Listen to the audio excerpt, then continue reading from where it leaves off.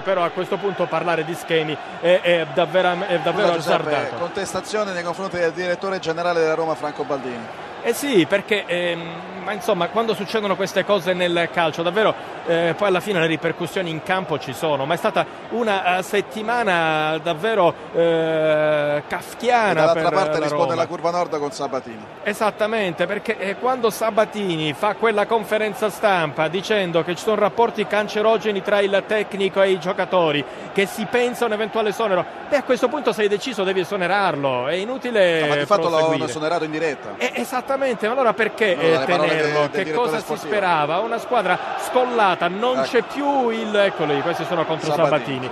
Eh, non c'è più il concetto di squadra, neanche un giocatore come Totti riesce a mettere insieme eh, questi giocatori. Pare eh, che negli allenamenti ci siano addirittura eh, situazioni di insubordinazione da parte dei giocatori. Eh, qua si parla tanto del progetto americano, il progetto a stelle strisce, però la proprietà americana eh, viene ogni tanto a farsi la gita romana eh, sul modello di Gregory Peck in vacanze romane eh, e ogni tanto si fa vedere. eh, Con con- l'obiettivo poi di costruire lo stadio. eh, eh, ecco, forse siamo arrivati al punto focale, ma il calcio è un'altra cosa, ragazzi.